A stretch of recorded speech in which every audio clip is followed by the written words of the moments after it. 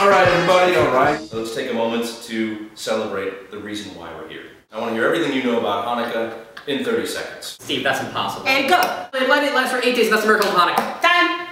All right, so it's kind of a Jewish Christmas. Exactly. And speaking of Christmas, who's got the big dog covered? I'll take it.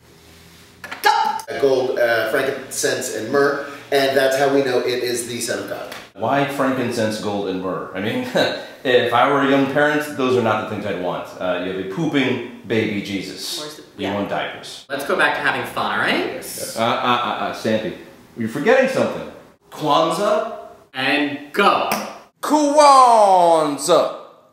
These are the seven principles of Kwanzaa. Nia, umoja, kujichagulia, ujima, kuumba, imani, ujamaa, cooperative economics. Kwanzaa trumps all of your chump ass holidays. Why are you guys looking at me? Because you're holding a gun and Steve's been shot. What happened? Steve's dead! Yeah, Brian shot him.